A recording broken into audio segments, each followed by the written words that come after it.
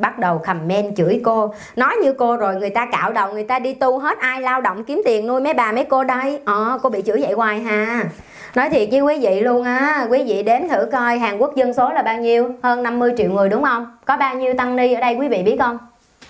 Không tới 40 ngàn tăng ni theo, tu theo Phật giáo nữa. Ý là đã bao gồm cả những tông phái có thể có gia đình đó, có thể có vợ sinh con.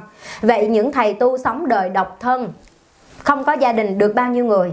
Đúng không Việt Nam, dân số bây giờ là gần 1 tỷ dân chưa gần 1 tỷ dân, được bao nhiêu tăng ni Điều này cô muốn nói là sao? Quý vị đừng bao giờ đặt câu hỏi không có câu trả lời Đặt câu hỏi không bao giờ, Cái giả thuyết không bao giờ xảy ra ở hiện tại, Nghĩa là không bao giờ có cái chuyện mà Tất cả mọi người đều đi tu xuất gia theo Phật hết Quý vị tin không? Đúng không? Dân số thế giới hơn 7 tỷ người, Được bao nhiêu tín đồ Phật giáo Trong tín đồ Phật giáo đó được bao nhiêu người đi tu, Phải không? Đơn giản lắm quý vị, tại sao ít như vậy? Tại sao sư cô nói chắc chắn là không bao giờ có cái chuyện đó xảy ra? Để đừng có hỏi xoáy đáp xoay, tưởng mình rất trí tuệ nhưng thật ra không trí tuệ tí nào. Tại sao vậy? Không dễ dàng từ bỏ đời sống dục. Tại mình đang sống trong cõi dục.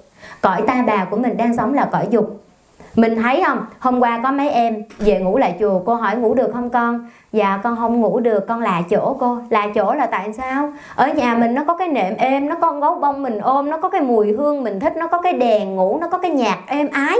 Bao nhiêu đó thôi, mình chưa bỏ hết được, Mình vô chùa nó không có cái đó, Mình chưa chắc là đã có một giấc ngủ ngon. Đó là về chùa ngủ một đêm thôi đó.